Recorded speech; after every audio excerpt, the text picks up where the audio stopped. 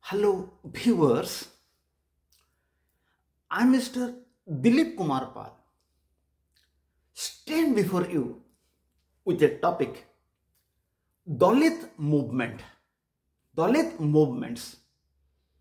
It is found in plus 3 fifth semester DSE2 paper and the name of the paper is Development Process and Social Movements in Contemporary India.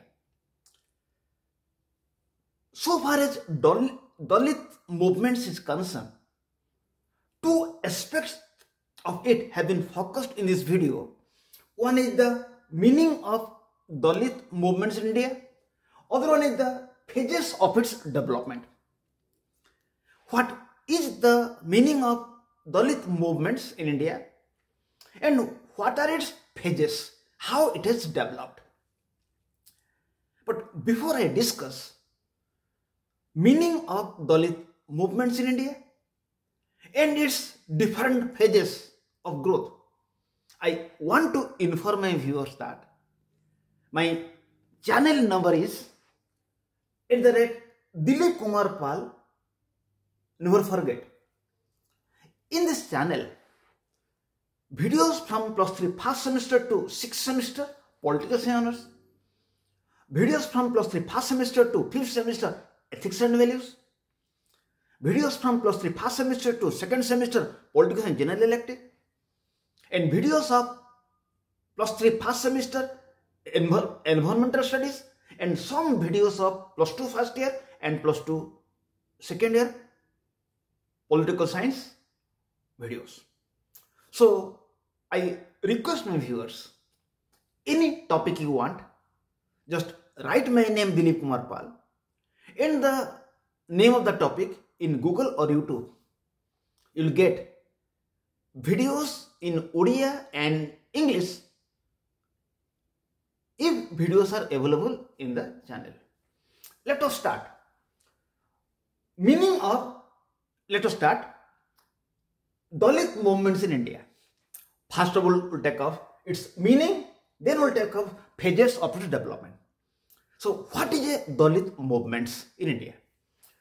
In India, from time to time, many group movements are made, like Dalit movement, peasant movement, women movement, etc. Dalit movement is a vital movement which is meant for the protection of interests and development of Dalits or Harijans or untouchables or scheduled caste or fifth Varna of Indian caste system. In India, from time to time, various group movements are made like women movements, environmental movements, peasant movements and Dalit movements.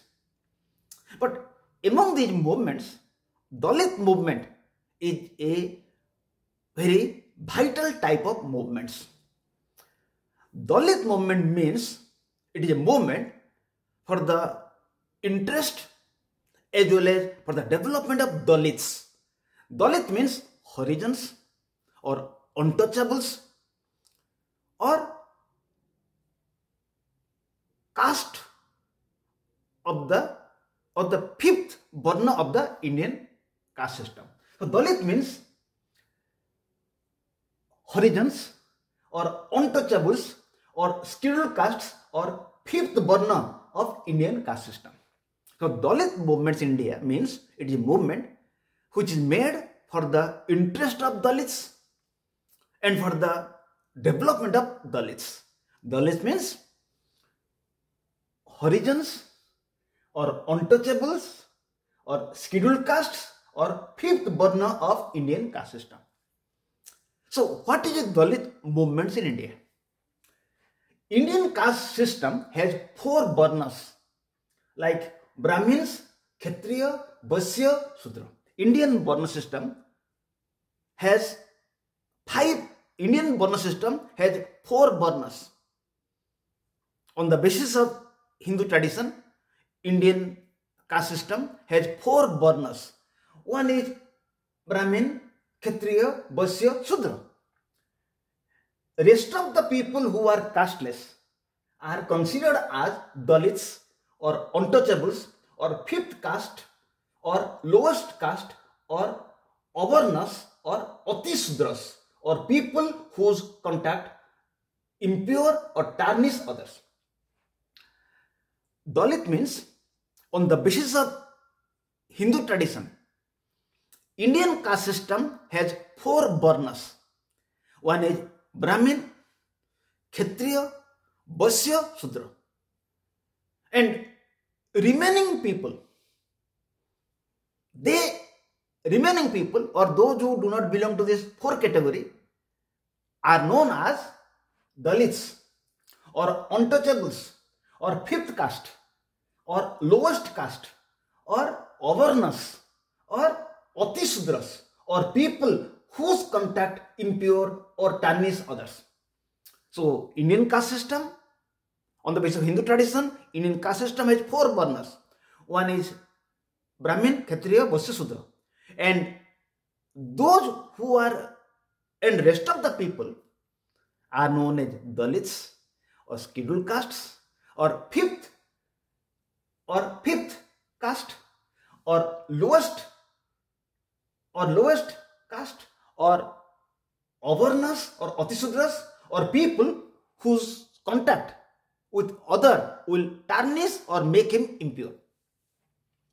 In India, on the basis of 1991 census, 2001 census and 2011 census, their population is 15.8, 16.2, 16.6 respectively. On the basis, these Dalits, their population is not too less. On the basis of 1991, on the basis of 1991 census, their population is 15.8. On the, on the basis of 2001 census, their population is 16.2. On the basis of 2011 census, their population is 16.6 of the total population. In urban areas, they are engaged in casual labor, in factories, and construction sites. In urban areas, the Dalits are engaged as casual labor in factories and construction sites. In rural areas, they work as peasants, agricultural labor, etc. So in urban areas, the Dalit people are engaged mostly as casual labor in construction sites and factories, etc. In rural areas, they are engaged mostly as peasants and agricultural labor. Their population is more in states like Uttar Pradesh, Bihar, Punjab, Odisha, West Bengal, Tamil Nadu, Rajasthan and Andhra Pradesh. Their population is more in states like Uttar Pradesh, Bihar, Punjab, Odisha, West Bengal, Tamil Nadu, Rajasthan and Andhra Pradesh. For the development of these people, like reservation in government jobs, for the development of these people, like reservations, reservations in government jobs, reservation in education institutions, reservation in state assemblies, reservation in parliament, preference in promotions, etc. Movements are made known as Dalit movements in India.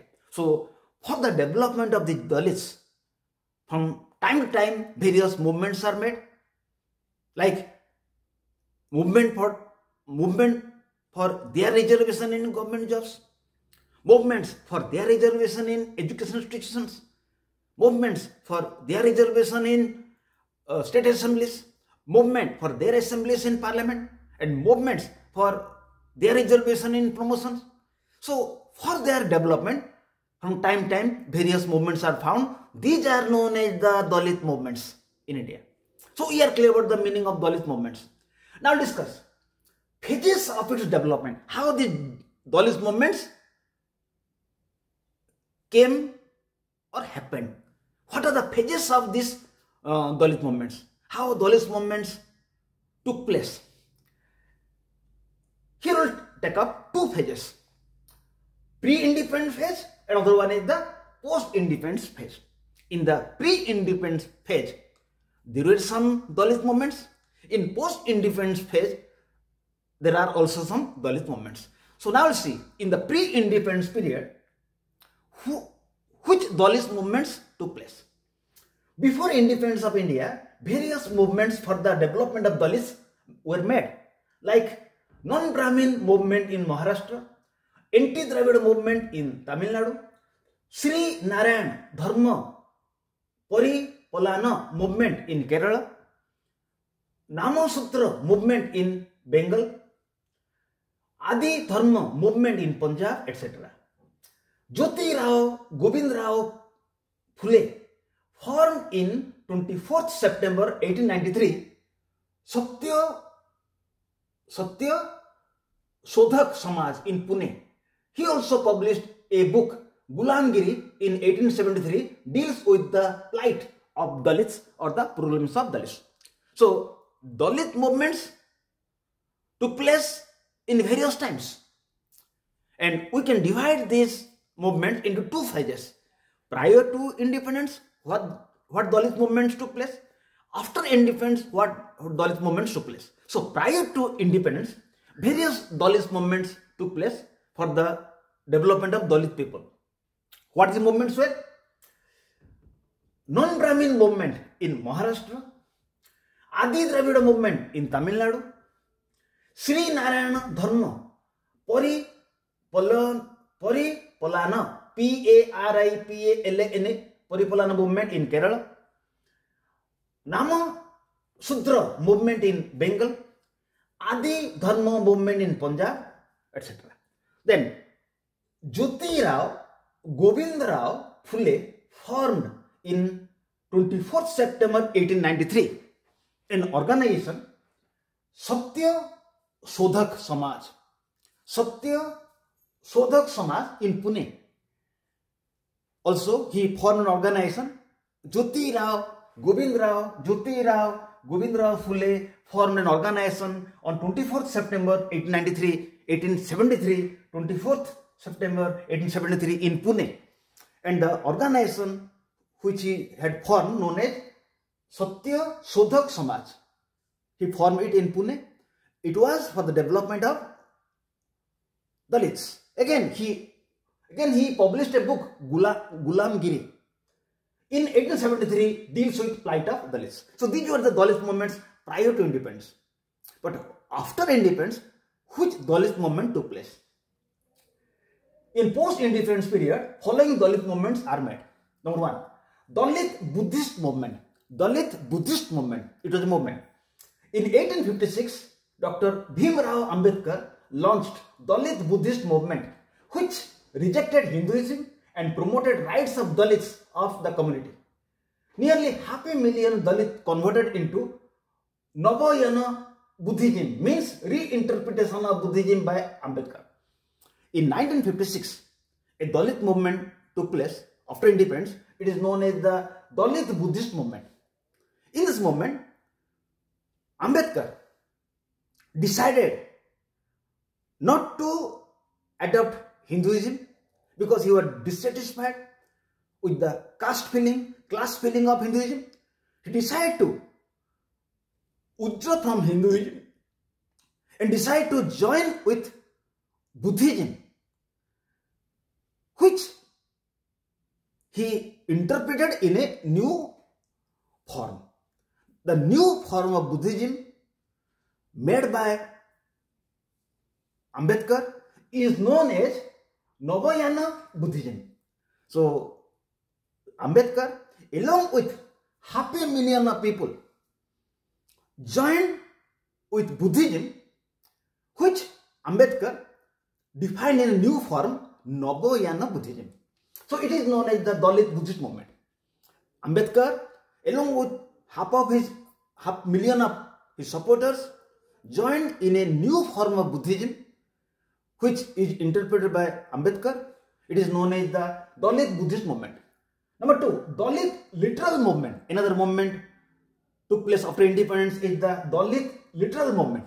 It means it started in 1960s. After 1960, it started in Maharashtra and spread across India. After 1960s, Dalit literal movement started in Maharashtra. Then it started to spread all over India. What is Dalit literal movement? Through writings, poems, arts, etc., lives op- uh, operation, struggles, plights, etc. of Dalits are expressed and published in various languages like Marathi, Hindi, Bangla, Odia, Punjabi, Sindhi, Kannada, Tamil Nadu. In this period, the problems, oppression, struggles, plights of the Dalits are expressed in different poems, art, books, etc. And they are published in different languages like Marathi, Hindi, Bangla, Odia, Punjabi, Sindhi, Kannada, Tamil Views of Ambedkar, Namdev, Dhasal, DHSL, Saran Kumar Limbale are expressed in various writings.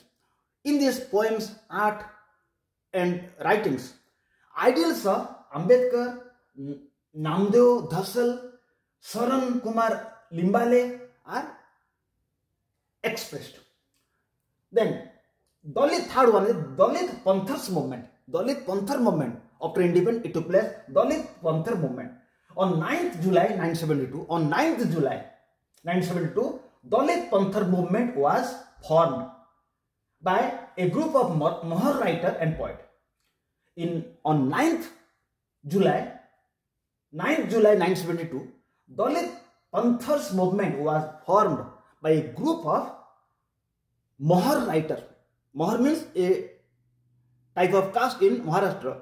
So this Dalit Panther movement was formed by a group of Mahar writers and poets on 9th July 1972 like Raja Dhale, DHL, Raja Dhale, J.V. Pawar and Namdev Dhasal to combat caste discrimination.